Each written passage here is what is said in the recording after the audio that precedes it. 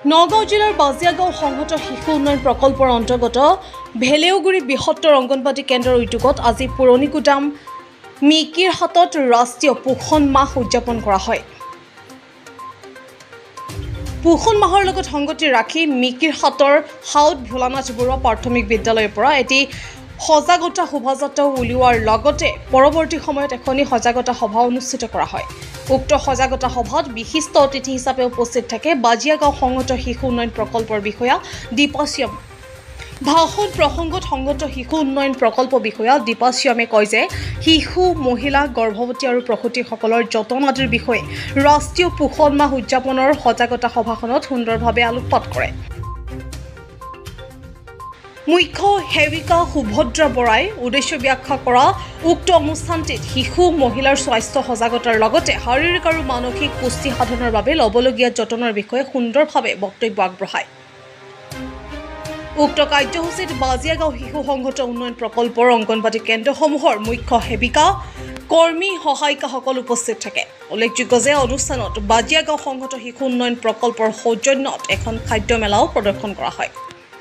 দুহেজাৰ চৌবিছ চনৰ সপ্তম পোষণ অভিযান আমাৰ ভেলুগুৰি চাৰ্কুলত আমি আয়োজন কৰিছোঁ। ইয়াত গাঁও ভৈ ন- সকলো মানুহক শিশু বৃদ্ধ বনিতা সকলোকে আমি লৈ পেলাই এখন সভা পাতিছোঁ। এই সভাত আমি প্ৰথম শোভাযাত্ৰা বন্তি প্ৰজ্বলন আদিৰে আদৰণি সভা আৰু আমাৰ অন্নপ্ৰসন পোষণ মেলা পঞ্চামৃত এই বিষয়কেইটালৈ সাঙুৰি আমি সজাগতা সভা আৰম্ভ কৰিছোঁ। লগতে আমি থ্ৰী টি হেৰি ৰক্তহীনতাৰ ওপৰত আমি গুৰুত্ব ৰাখিছোঁ। আমি কিশোৰী ছোৱালীকো মাতে মাতাই আনি ইয়াৰ চেক আপ কৰিব বিচাৰিছোঁ। গাঁৱে ভূঞে কিমান আছে সকলোকে আৰু যিসকলো অহা নাই সেইসকলকো আমি জনাবৰ বাবে ইয়ালৈ অহা উপস্থিত থকা সকলোকে সেই বাৰ্তা প্ৰেৰণ কৰিবৰ কাৰণে আমি অনুৰোধ জনাইছোঁ। সকলোকে যিহেতু আমি সকলোকে একেলগে একত্ৰিত কৰিব নোৱাৰোঁ গতিকে আমি থুলমূলভাৱে যিখিনি পাতিছোঁ যিসকল ব্যক্তি আছে সেইসকলৰ দ্বাৰা আমি গাঁৱে ভূঞে নগৰে চহৰে আমি সজাগতাৰ কাৰণে এইবিলাক প্ৰেৰণ কৰিছোঁ।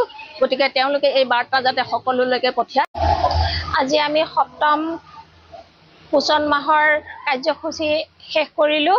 আমি ভেলুগুৰি চাৰ্কুলৰ সমূহ অংগনবাদী কৰ্মী আৰু সমূহ ৰাইজৰ লগত এখন ৰাজহুৱা মিটিং কৰিলোঁ। প্ৰথমতে আমি ৰেলী কৰিলোঁ। ৰেলী কৰাৰ পিছত আমি এখন ৰাজহুৱা মিটিং কৰিলোঁ। তাতে আমাৰ ভেলুগুৰিৰ স্থানীয় ৰাইজো আহিছিল আৰু তাতে আমি এখন খাদ্য মেলা আৰু এখন পৰি থলুৱা খা থলুৱা শাক পাচলিৰ মেলা এখন কৰিছিলোঁ। আমি প্ৰদৰ্শন প্ৰদৰ্শন কৰিছোঁ। সেই প্ৰদৰ্শনৰ জৰিয়তে আমি ৰাইজক সজাগ কৰি তুলিব বিচাৰিছোঁ যে আমাৰ গাঁৱতে আমাৰ ঘৰতে যিবোৰ শাক পাচলি পায় তাতে আমি আমাৰ যিখিনি লাগতিয়াল পৰিপুষ্টি সেইখিনি আমি পাব পাৰোঁ। আমাৰ এইবাৰ সপ্তম পোষণ অভিযানৰ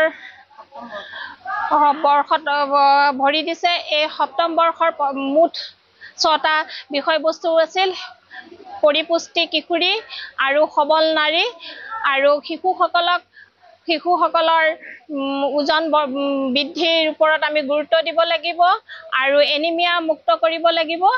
এই আমি গাঁৱে গাঁৱে গৈ সকলো অংগনবাদীক সামৰি লৈ সকলো ৰাইজকে সামৰি লৈ আমি এটা অভিযান কৰিছিলোঁ আৰু এই অভিযানত আমি ৰাইজৰ সঁহাৰিও পাইছোঁ আৰু ভাল লাগিছে আমাৰ ৰাইজে বুজি উঠিছে পোষণ কি আৰু পৰিপুষ্টি কি আৰু আমাৰ কিশোৰীসকলৰ যি আমি বাল্য বিবাহ আমি বন্ধ কৰাৰ কাৰণে যি আমি সকলো মিটিঙতে আমি এক- একোখন একক এটাকৈ বক্তব্য ৰাখিছিলোঁ।